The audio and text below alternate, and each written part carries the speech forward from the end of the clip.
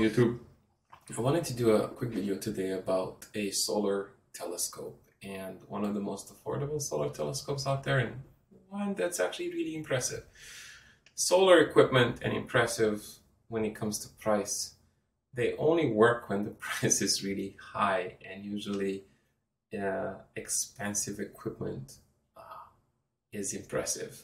The cheap equipment is not as good. But Today, that's an exception. So instead of like talking about the Daystar Quantum 0.6 angstrom uh, filter, which is incredible, I'm going to be talking about something like this. This is the Lunt 40 millimeter solar telescope. It, it is actually impressively well built. The helical focuser is better than what I expected. The actual mechanics of it are very, very good.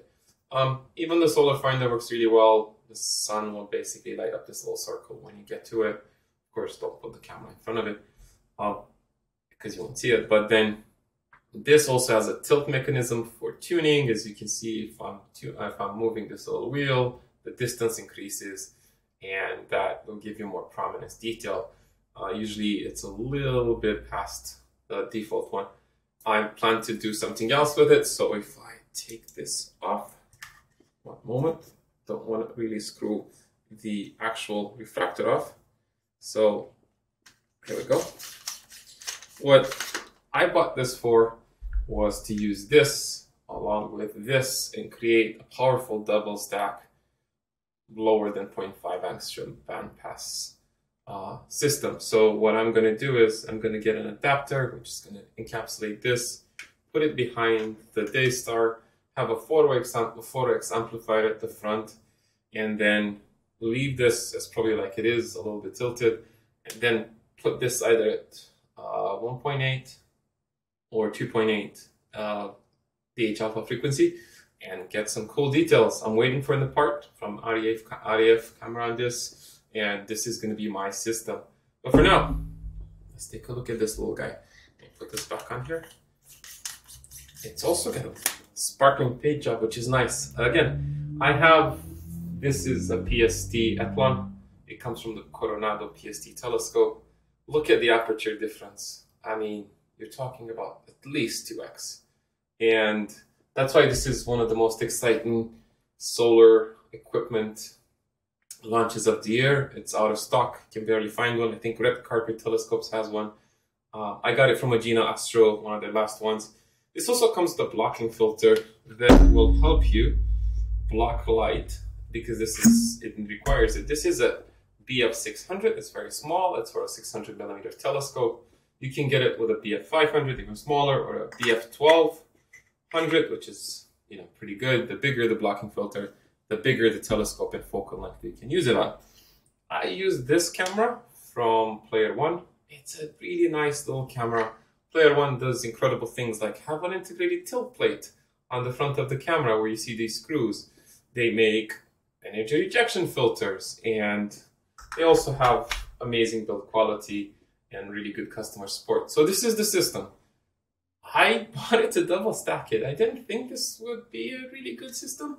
I tried the PST and I wasn't pleasantly surprised. It's a mess. It's old and it's not even close to being as good. Usually I'm used to using things like these tilt this tilter here that tilts the sensor, cooling so the camera stays alive. This is a must for the Daystar, a Barlow. It operates at f30 plus, so I don't have an f30 telescope, mine are pretty fast. So it always has to be amplified by three, four times at least. So I thought maybe I even double stack these to see some details, but unless I can get a Barlow and the little scope, it won't work.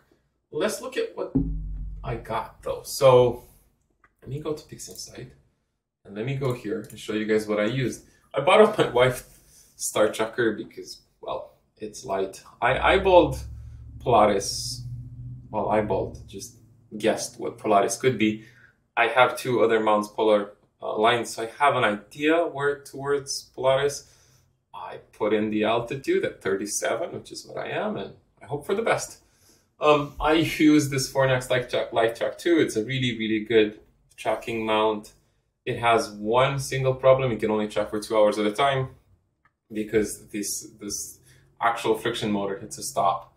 But it is the most accurate start tracker you will ever find. One arc second periodic error blows it blows everything else out of the water.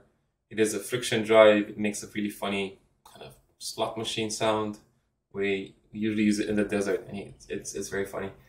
I powered it with an external battery from EcoFlow. Um, I was actually trying to double stack here. As you can see, I'm at 65, 61.8, which is the lowest I can make this uh, uh, quantum go. The default frequency for H alpha is 65, 62.8.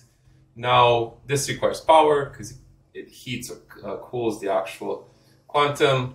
Uh, my computer is stored in a basically a plastic bucket so it doesn't overheat. And I also try to sit in the shade. Whenever you do solar photography, your solar the sun is not your friend.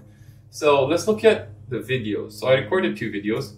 One with uh, the sensor that I finally decided to image with, which is that Neptune camera or the Z or the IMX 178 chip, which is not really the most common. It's a good planetary camera.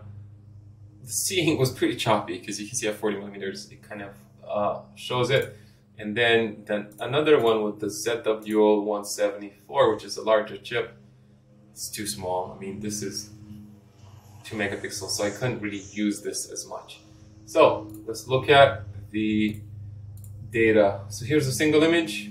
Predictably, it's not the best, but I had enough that I could use. I think it was 30, 30,000 frames that I took, and I used about 50%. Let's look at the stack. Uh, the stack is this. So as you can see, the details start showing up, but still it's not sharp and it has some issues. I actually used Astra imaging tool to clean it up. Let's see what happened.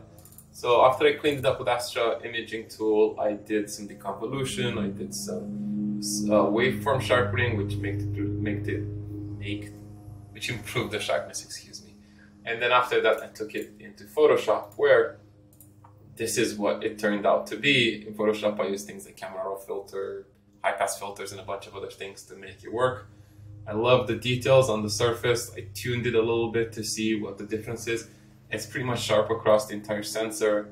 I'm really impressed with this. You can even see prominences, which is at 40 millimeters. Impressive. So Lunt, amazing job. I bought this myself. It's not a promotional advertisement for Lunt they just make incredible lens, uh, just like Daystar. So I also, I give people shout out if I can.